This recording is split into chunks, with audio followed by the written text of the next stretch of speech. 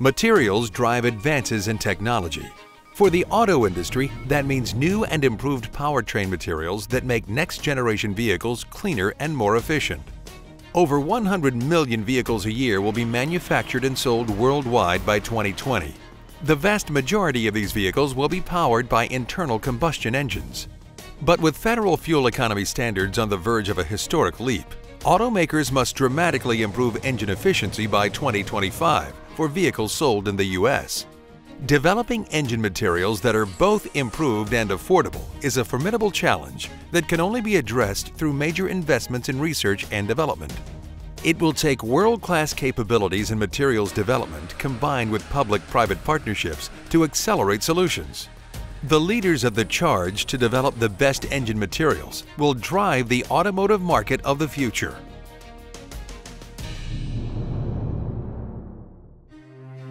The fuel economy of next-generation internal combustion engines can be further improved by as much as 50%, but these cleaner, lighter, and more efficient powertrains will also generate much higher pressures and temperatures. In fact, some of the exhaust temperatures of some downsized turbocharged automotive engines are now approaching those occurring in aircraft turbine engines. Exhaust path materials conventionally used in cars and trucks are limited at these extreme temperatures and pressures. And yet the expensive alloying elements like nickel and cobalt, routinely used in aircraft quality materials, are difficult for automakers to afford. These extreme materials challenges must be resolved before many advanced technologies can be deployed at acceptable costs. To accelerate progress, the U.S. Department of Energy's Propulsion Materials Program is investing in strategic research that partners national laboratories with the auto and heavy truck industries.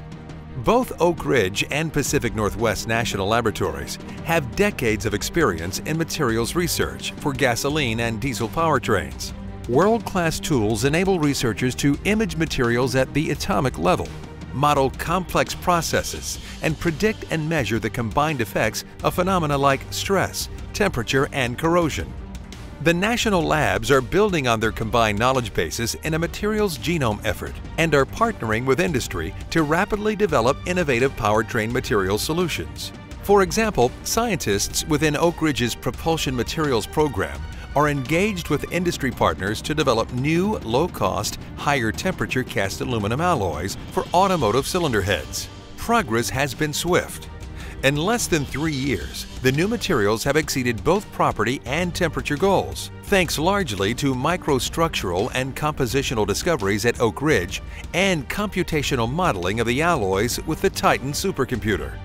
Oak Ridge has also used an integrated computational materials design approach to develop exhaust valve materials with both improved properties at higher temperatures and lower cost due to reduced nickel and cobalt contents. Other propulsion materials projects are aimed at the next generation pistons, exhaust manifolds, turbochargers, and after-treatment materials for both light-duty and heavy-duty engines. For example, a cast stainless steel developed by Oak Ridge is presently being engine tested by an OEM as a next-generation exhaust manifold for heavy-duty diesel engines. Oak Ridge is also investigating innovative manufacturing strategies like 3D printing to enable unique designs for select high-impact powertrain components. These scientific breakthroughs demonstrate that when connected with national laboratories, U.S. industry can rapidly innovate and deploy new materials technologies that will drive future innovations in energy efficiency. They will help to ensure U.S. leadership and jobs in the transportation market in the decades ahead.